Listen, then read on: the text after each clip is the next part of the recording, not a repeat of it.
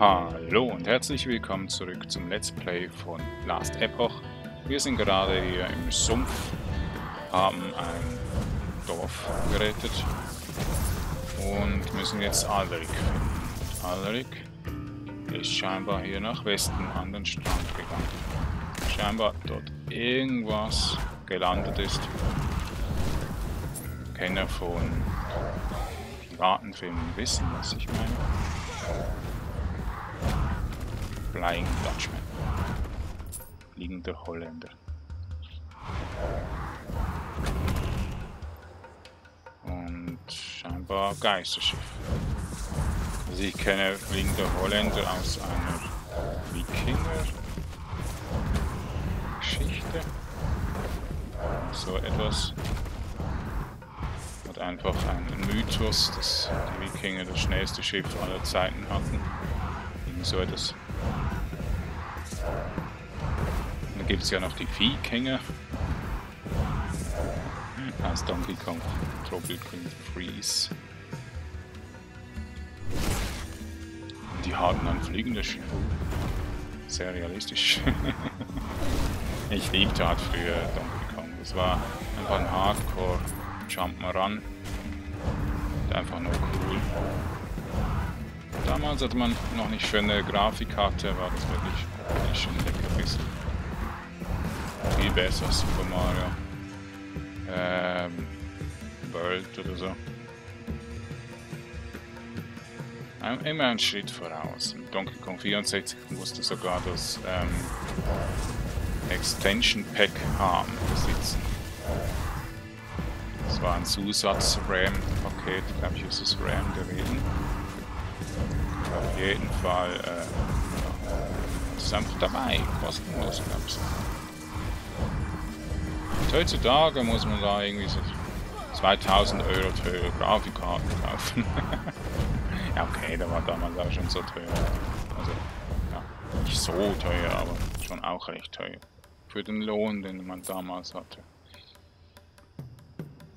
Und als ich dann den ersten PC hatte, Diablo 2 eigentlich kaum spielte, äh, spielen konnte. Das war schon heftig auf einem Art Schul-PC. Was damals. Ja. Meine Eltern wollten natürlich keinen Gamer-PC kaufen, für mich nur ein Schul-PC. Mega schlechter RAM. Die ganze Zeit sind Seiten fünffach, sechsfach aufgeploppt. Anstelle von einmal. Wenn man einmal gedrückt hat. Dann noch sechs Webseiten hatte. Word-Dokument oder was man damals noch hatte. Also. Ach, Geld. Also diese Fähigkeit kann kleine Viecher nicht töten.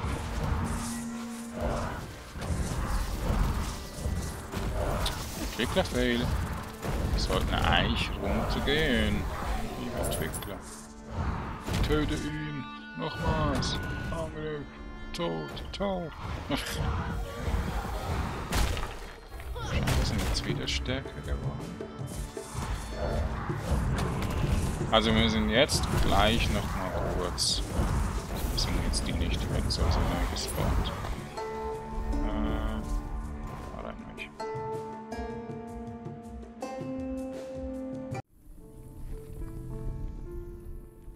Schauen, ob die jetzt tragbar sind bald. 31. Nehmen wir die für 31 mal mit, haben hier Chill einfach noch dazu. Aber auch 80% Increased Necrotic Damage if you have been hit recently. Leider werden wir nicht so oft getroffen, aber das könnte ab und zu schon recht stark sein, wenn wir dann mal getroffen werden. Hit ist nämlich nicht alle Zauber, aber die meisten denke ich mal Hit, oder? Oder ist Hit nur Nahkampf? Sache etwas, was man halt einfach nicht kennt. Ah ja, ich wollte ja noch diesen einen Beet machen.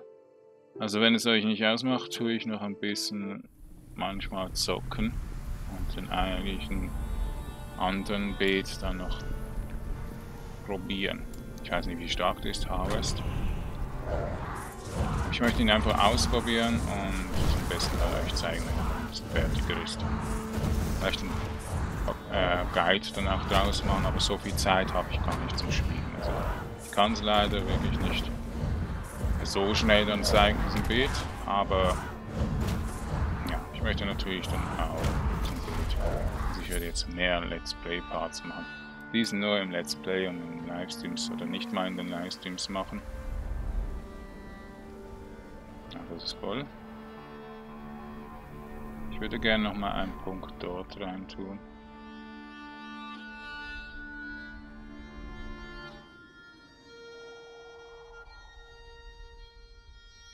Ja, zehnfach. Also, ein Punkt hier rein, dann haben wir 2%. Hier haben wir auch irgendwo noch Live Leech, glaube ich. Und dann das ist Health Drained. Armor. Intelligenz. Hier haben wir keinen. Vielleicht auf einem Item noch. Also machen wir mal und dann haben wir hier Vitalität, was wir unbedingt mal brauchen. Soul Feast haben wir schon mal ausprobiert. Äh, nein, das haben wir noch nicht ausprobiert. Das machen wir mal kurz hier rein.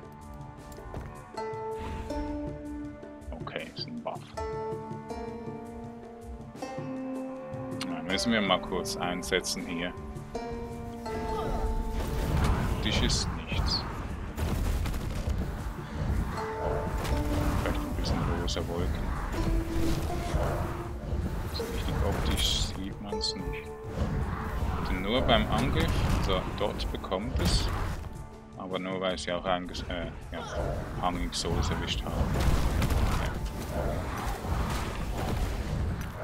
Kenne ich jetzt wirklich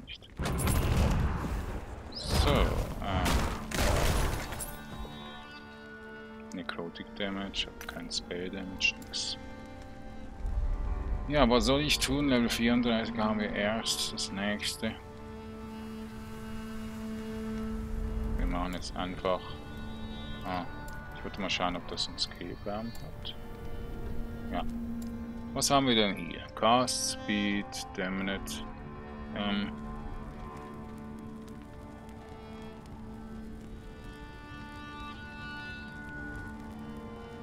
Also die Gegner werden irgendwie andingen, dann kommt irgendwas zu uns. Also Soul Fragment zählen, kommen dann zu uns. Und dann bekommen wir Ward. Aria ist hier noch. G Duration.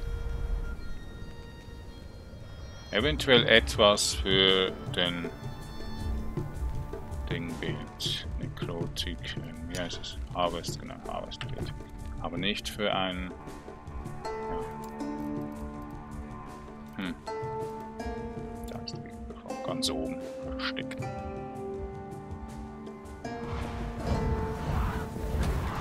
Ja, eben leider kenne ich keinen einzigen Bild, kein Guide zu diesem Ding, Bild. Also eigentlich ist früher mal nur einer mit einem Schuss gewesen und ich mache schon viel mehr Stärke, also Schaden als nur einer Schuss. Also ich denke, äh, ich habe relativ der Einzige, der das spielt.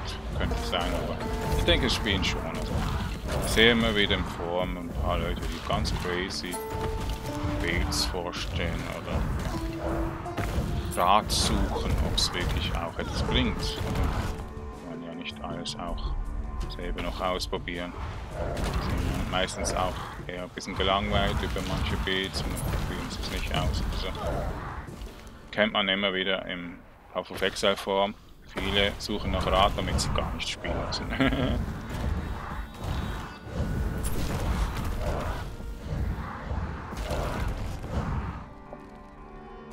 so, ähm, letztens ein Trade gefunden, wo sie vor, äh, Sachen Builds vorstellen, die überhaupt irgendwie ganz komisch funktionieren. Da gibt es zum Beispiel einen, der auf äh, automatisch Zaubern nach Benutzung von einer Attacke basiert, Ethereal Knives ähm, wirft, also diese ätherischen äh, Dornen, Klingen, ätherischen Klingen auf Deutsch. Und dann diesen neuen äh, Racer-Angriff spammen und dann noch äh, blinden. Die Gegner blindet, also blind macht. Und ja, noch andere Support-Einheiten. Ah, ich habe den Schrein vergessen. Also, nicht mitgenommen, ne? Den Schrein noch nicht, der ist nicht so weit weg. Ja, das ist optisch ein bisschen schwer zu erkennen. Das ist Helf. Mana-Regen, okay, gut, dann sieht, sieht aus wie ein, ein Kloßzeichen von äh, Sanität. Ein weißes Kreuz. Ein, ein rotes Kreuz. ein weißes Kreuz hat die Schweiz. So, ähm. Momentan eigentlich sehr stark. Also wird einfach Stärke. Da habe ich so ein bisschen Bedenken, dass ich dann in den Maps zu wenig Schaden mache, wenn die Gegner Resistenzen haben. Map Mod. Müssen wir schauen, also ich bin einfach ein bisschen skeptisch noch. Was soll passieren? der immer noch nicht. Was haben wir da gesagt? Vitalität.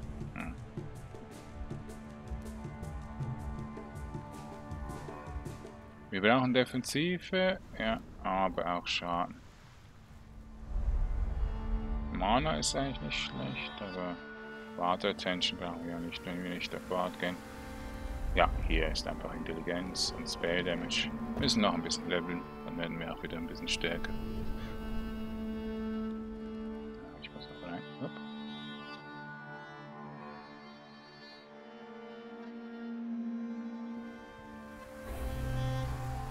Schade, dass ich ähm, Handy-Games nicht aufnehmen Ich Würde vielleicht auch noch ein paar mehr Leute anlocken. Aber ich habe sehr gute Handy-Games in letzter Zeit gesehen. Und jetzt hätte ich Lust, natürlich noch ein bisschen auf Handy-Games zwischendurch. Aber sie brauchen einfach zu viel Aufmerksamkeit, weil sie meistens zeitbasierend sind. Da muss immer wieder ein bisschen klicken. Ah, hier hat es jetzt noch eine Kanal, eine Röhre, die dort offen ist. Könnt ihr denken, wieso ich gerne Handy-Games jetzt spiele, wie ihn ausruhen im Sport nicht immer sitzen kann, nicht immer sitzen will. Oder einfach Ladezeiten überspringen möchte. Ich kann ja währenddessen nicht noch ein anderes PC-Game spielen oder so. Handy-Games sind nice, sind mega langweilig im Grinden. So, und jetzt habe ich endlich mal so ein Eisenbahnspiel gegen die Eisenbahnsimulation. Ich schau gleich mal, wie das heißt, gefunden. Das macht irgendwie sehr viel Spaß. Aber natürlich auch mit Wartezeit. Das ist so problematisch. Ja, muss ich nicht machen. Wir schauen das jetzt mal an. Wir scannen das mal mit dem Bodenbarrier. Ob, wir, ob das uns den Weg versperrt. Auf Defensive müssen wir unbedingt werden. Ist klar.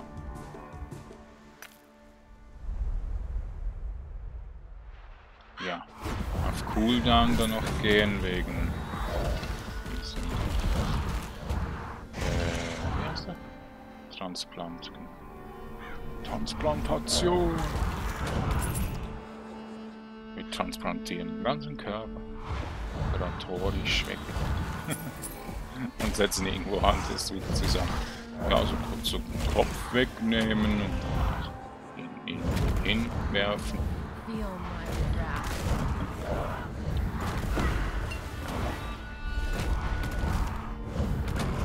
Was macht ein Heid?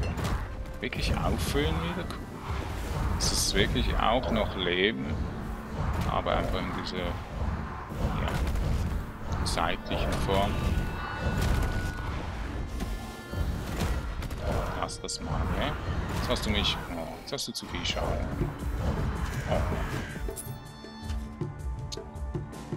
Oh. Äh.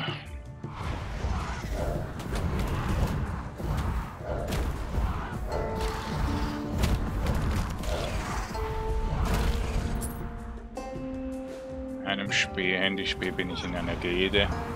Ich spiele extremst wenig, also jetzt gerade am Abend, weil ich noch ein paar Aufgaben lösen muss. Und sonst eigentlich nur früh am Morgen und spät am Abend. Und ich bin vierter Platz in der Gilde. Ist so hardcore stark, aber ich bin vierter Platz in der Gilde. Also andere spielen das Game viel weniger. Nur geben Geld aus, dadurch sind sie einfach mächtiger. Aber ich bin immer noch vierter Platz und habe kein Geld ausgegeben. Ja, fühlt man sich natürlich auch wieder ein bisschen süchtiger. Aber ich spiele eigentlich sehr wenig, also ich spiele vor allem sehr wenig. Und würde es gerne mehr spielen, aber macht es auch nicht so viel Spaß.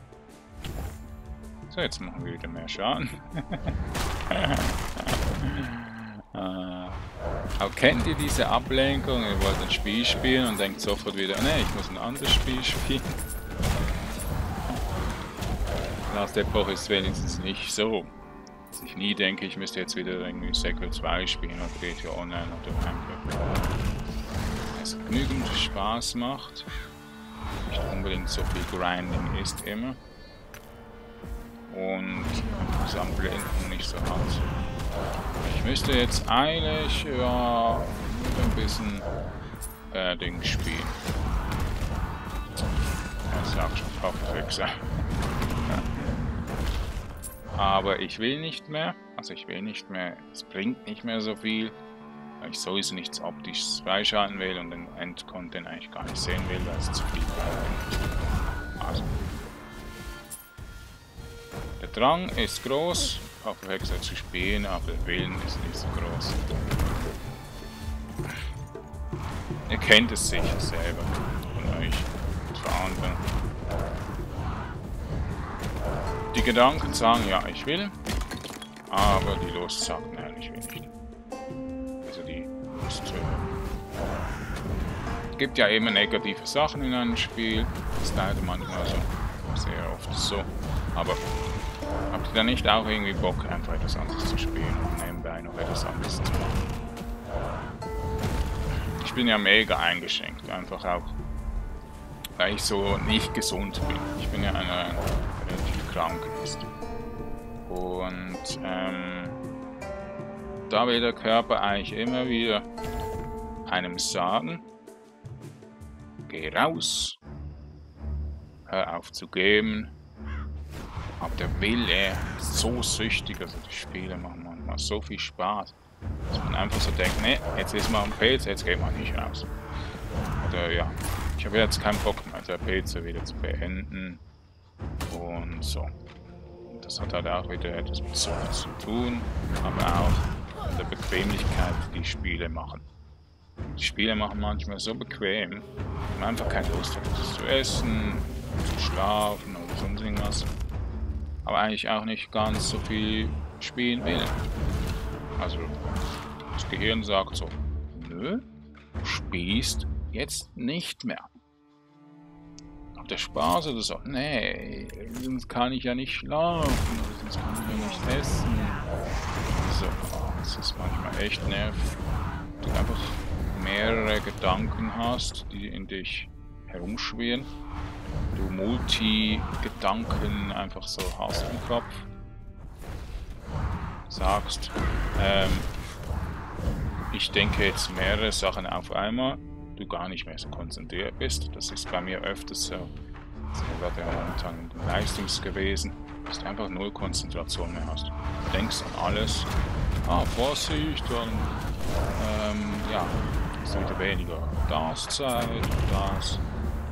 Leistung gehe ich nicht mal aufs Klo, ich kann das PPI sehr lange aufhalten.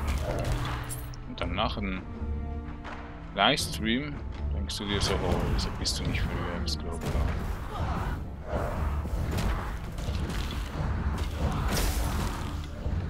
Und du sagst dir immer wieder, nee, du bist nicht süchtig. Du spielst einfach gern viel. Aber dass du dann irgendwelche wichtigeren Sachen aufschiebst, ist nicht so gut. Nur eben, es eigentlich ja, sonst eigentlich so ziemlich gesund bin. Dass ich mich gesund ernähre, viel Schlaf habe, wenig Stress habe und so. Eigentlich nicht so wichtig. Deshalb kommt das ja auch auf. Der Körper will natürlich dann wieder sich wichtiger um Körper kümmern, die sich ja besser fühlen.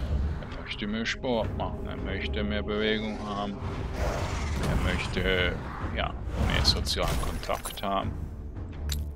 Und in letzter Zeit habe ich mir so Gedanken gemacht, muss ich jetzt unbedingt streamen, so viel. Ja, Sacred 2, weil ich es nicht aufnehmen kann, klar. Gationen auch, weil Kollegen im Prinzip wollen ja, mitmachen. Eventuell, wenn ich mal wieder Gate habe, auf einem Minecraft-Server und so, Livestream. Oder auf Rollenspiel-Server bald, wenn Bruder HD da viel äh, erreichen kann. Und ich habe mir mal Gedanken gemacht, ob ich wirklich das schaffen könnte, wenn ich ein eigenes Spiel designe. Aber wo kriege ich die Zeit her? Es ist eigentlich mit Unity relativ leicht, aber ein bisschen kompliziert. Umständlich, sagen wir das mal so. Was ist, wenn ich einen Last Epoch entwickle mit noch anderen Genre-typischen Sachen, also anderen Genres, untypischen Sachen, wie zum Beispiel also Zeitreisen würde ich gerne auch in meinem Spiel machen. Nur ist es langsam langweiliger, also viele Spiele Zeitreise haben und Games. Aber ich könnte das besser eigentlich machen, indem ich einfach ein GTA Online noch dazu setze. das ist ein heftiger Aufwand, aber einfach nicht nur Mittelalter, sondern auch moderne Zeit machen. Kann man halt Schusswaffen nicht mitnehmen ins Mittelalter. Aber wie wäre es zum Beispiel mit einem Zelda, The Legend of Zelda, mit viel Action aus Last Epoch und ähm, Zukunft wie in GTA Blöcken. Wisst ihr, wie viel Aufwand das ist zum Design? Da muss man ein riesen Entwicklerstudio haben. Und einfach nicht so schöne Grafik machen und alles mögliche. Texturen ja sehr viel Zeit verbrauchen. Scripting auch. Ich hätte so viele Ideen, nur wer macht das für mich? Wenn ich das alleine mache, wie viel Zeit kann ich wirklich investieren? Das ist die größte Sache. Ich möchte eigentlich viel erreichen können, kann es aber nicht. Ich fange halt einfach zu viele Barrieren habe, das war etwas Sache. Ja auch gedacht, dass ich keine Werbung mache oder auch keine Leute suche, die für mich natürlich designen. Aber ich hätte die perfekte Idee für ein Game. Nur kein Entwicklerstudio möchte natürlich anweisen. ich habe schon vielen Foren so gepostet mal. Das habe ich in letzter Zeit nicht mehr gemacht, aber wenn man Gamer ist und Games kennt und sie gerne besser machen würde oder so, man noch mehr Ideen nochmal auf Games schaffen, oder? Sich noch mehr zu erfreuen, dass etwas eingebaut wird, was man wünscht. Dann hat man einfach das Problem, man ist gar nicht mächtig genug. Man ist vielleicht verantwortlich, dass man gerne etwas hätte. Aber niemand schafft so etwas oder ja, es ist einfach zu viel Aufwand. Dann gibt es Leute, also Entwickler, die einfach ein Game machen, das zwar nicht so viele Features hat, aber sehr viel Grinding hat. Es ist jetzt erst zum beliebtesten Spiel oder zum erfolgreichsten Spiel gedingt, so ein Beaten-Up-Spiel aus Südkorea. Da machst du nichts anderes als Geld bezahlen im Echtgeld-Shop und grinden. Aber ja, die Spieler aus Südkorea und China so etwas.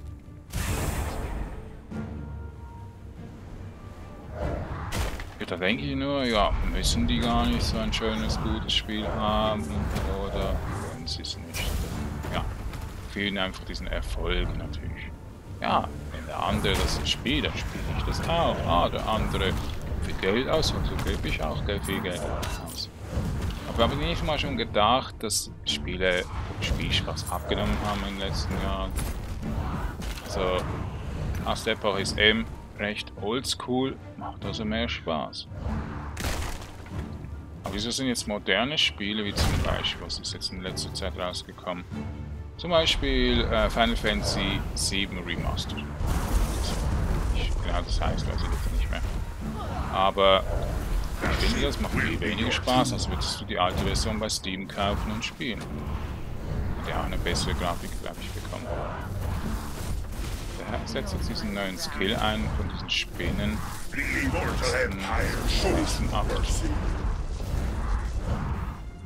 Ja, der Schaden ist natürlich schon sehr gering. Da müssen wir noch ein bisschen gegen den Boss mehr Schaden irgendwie machen können. Ja, ihr wisst ja wieso. Handschuhe. Handschuhe. Also hinten nicht mal ein bisschen was. So, man sollte eigentlich der Schaden steigen.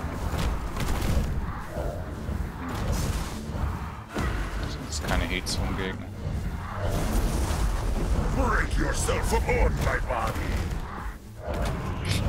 Ich sehe kaum etwas. Dieser Boss macht einfach zu viel Ding. Da müssen Sie mal die Effekte sehen. Sieht man ja gar nichts, wo man vor lauter Beißer Ding. So jetzt. Yay, stark. Das wiegt. Und der droppt immer mega schlecht. Also das ist jetzt der Akt 2 oder Akt 3 Endboss gewesen. Was ist denn der Akt 2? Ah, der Akt 2 ist am Ende, wenn man die ersten Idole bekommt. Also da bei dieser, äh, ich weiß nicht, wie die Map heißt dort. Aber ja, als zuerst das Schatten, also das Voidwesen kommt und dann dieser Magier, Void-Magier. Und den einen rettet. So, noch, noch fünf Punkte. Das schaffen wir ja gar nicht, da müssen wir andere Punkte rausnehmen. Aber einfach mal anschauen. Ich weiß nicht, was es gehen soll sonst. Ja, nochmals Vitalität. Jetzt müssen wir Level 5, äh, 39 erreichen, oder? I am not doing that again. Ja. Das kann ich jetzt nicht machen, weil ich einfach vom Spiel programmiert bin, dass ich das nicht einsetzen kann. Andere Dinge nicht. Kennt ihr zum Beispiel ein Spiel, was nicht so ein Magiesystem hat, also eher Magie viel schwieriger ist zum Einsetzen, weil das wünsche ich mir eigentlich, dass Magie viel stärker sind, dass zum Beispiel ein Feuerball echt Durchschlagskraft hat und so, aber einfach nur so all zwei Minuten einsetzbar ist oder so. Also dass man einfach sich mehr auf den Nahkampf oder Fernkampf konzentriert und weniger auf die Magie. Das kenne kenn ich jetzt in letzter Zeit nicht mehr. Das war früher, so in den 90er Jahren mit vielen Spielen, Damals hatte ich auch irgendwelche Games gespielt, die wie Diablo 1 waren. Einfach so ein bisschen mit, ähm, wann war Diablo 1 rausgekommen? 1995, so 1997. Einfach so Richtung 2000 gab es mal ein Spiel, das echt kleine Levels hatte, aber man hatte nur einen Zauber zu verfügen.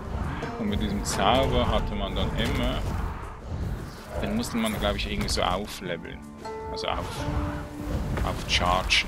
Charts konnte man dann loslassen. Es war am Anfang, man war beim Schiff, glaube ich, oder so. Also so die Grafik war echt so nur 2D, ja. So 2,5D. Also wie Diablo 1. Und nicht, glaube ich, nicht so gut wie Diablo 1. Doch vielleicht ein bisschen besser. Nur einfach, das Game war so interessant, aber ich schaffte es nie, mich so hoch zu grinden, dass ich genug stark war. Ich immer auf eine Fähigkeit, die in so einer Art Blitz war, also lila war. Mega gutes Spiel gewesen, aber sehr unbekannt. Also wahrscheinlich ist es für andere Leute gar nicht gut gewesen. Und mich hat es damals so fasziniert. Einfach Fähigkeit, also Magie, auch sehr äh, aufwendig zu leveln. Oder kennt ihr Grandia? Also Grandia 1. Damals war ich auch schon, schon ein bisschen zu alt, glaube ich 13, als ich das gespielt habe, das erste Mal. Das kam so um die 2000, 1999 oder so raus. War mega aufwendig zu spielen, weil die Ladezeiten hoch waren und der Spieltempo mega langsam war, weil man ständig diese Battles hatte, die recht lange gehen. Aber ich war so motiviert, alle Fähigkeiten auf Maximum-Level zu haben. Ich bin im letzten Gebiet, es war ein sehr hübsches Gebiet. Und im letzten Gebiet von dem Spiel sicher ungefähr 90 Tage am Grinden. Ich habe ständig den Endgegner mit einer anderen Fähigkeit besiegt, weil die Fähigkeiten manchmal echt geil waren. Und da gab es eine ultimative Fähigkeit, die irgendwie Ende der Welt hieß oder so. Oder Gaia, irgendwas mit Gaia, weil Gaia war der Endboss. Also wirklich die Erde war selber der Endboss, das hieß einfach wie die Erde, Gaia. Und, ähm, also die, Fähig die Welt von denen ist Gaia. Und, oh, das war so krass. Also ihr kennt sicher Bildschirm auswendende Explosion. Also es war nicht ganz eine Explosion, es war eher so eine, eine Wuchtattacke oder so. Vakuum oder so. Also. Ja, man sah dann noch die Erde aufreißen und was. Der ist eine Atomexplosion. Genau weiß ich nicht mehr. Aber die hat, glaube ich, immer 1000 Schaden gemacht. Und 1000 Schaden war eigentlich sehr hoch. Also heftigst. Dann gab es, glaube ich, noch eine Fähigkeit von der Grünhaarigen, also von einer der Hauptcharaktere. Lina hieß die. Und dort auch, die hatte, da brauchst du, brauchtest du, glaube ich, Wasser auf 99 und ähm, Luft auf 99. Und das ging so Ewigkeiten lang. Aber wenn du das gemacht hast, war es so eine Blitz- und Feuerexplosion oder Wasserexplosion.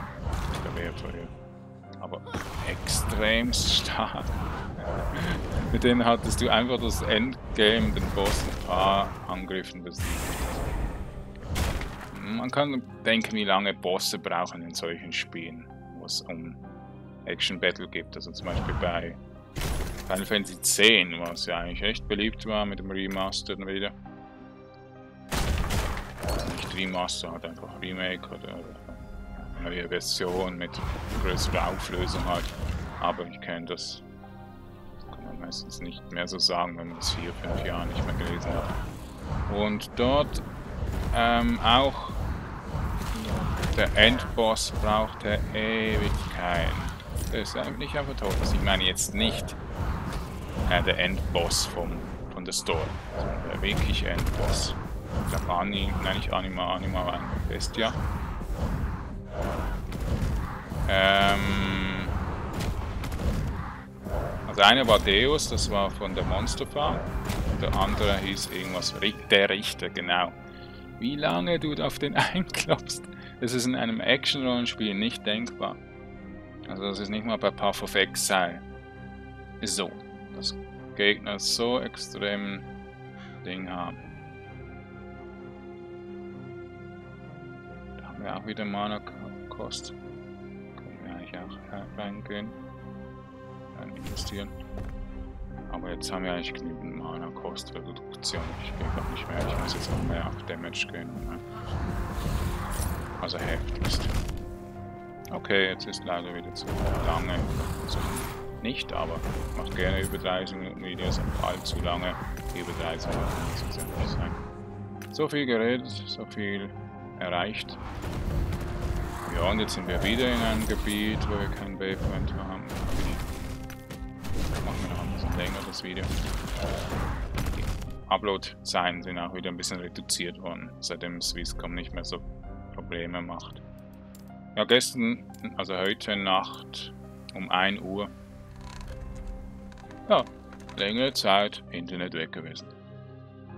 Und ich habe geflucht, weil ich da ähm, Ding gespielt habe, Path of Exile. Konnte ich länger Zeit of Exile nichts Ding. Okay, wir haben ein Paper. Sehr gut. Ich schaue mir mal noch die Items durch, ob wir noch etwas Besseres equippen können und zeige es dann im nächsten Part. Und dann spiele ich wieder ein bisschen Secret 2 in einem anderen Bild, damit es auch ein bisschen schneller geht. Leider Glancing Blower weg für diese Handschuhe. Aber 12 Cold Damage with Spells and Attacks ist eigentlich ziemlich gut. Und Cast Speed oben. Sehr schön. MD Harvester könnte ich dann mal machen. Das mache ich dann morgen. Und jetzt haben wir zwei Set eigentlich. Isadora. Isadora. Ja, da steht ja auch zwei in grün. Okay. Und drei Set-Teile ist dann Mana-Effizienz. Dann können wir eigentlich die Punkte dann wieder raushauen. Denke ich mal. Amazon auf Level 39 warten. Das ist... Ja, in 5... In 7 Level. Draco kann ich rechnen. Äh... 12 Increased Damage, also dann haben wir Isadoras nicht mehr. Ja, ich weiß jetzt gerade nicht, was ich noch equippen könnte. Idole hätten wir noch mal Platz. Was könnten wir da rein tun? Ich würde gerne Resistenzen reintun. Keine Ahnung, wir brauchen mehr. Viel mehr ist, äh, Ding, Idole. Ja, Glänzend Blau. Okay. Dann haben wir wenigstens 4 von 6 Glänzend Blau wieder zurück. Necrotic Damage würde ich gerne noch nicht benutzen. Also nicht kaufen. Ich kaufe mir mal.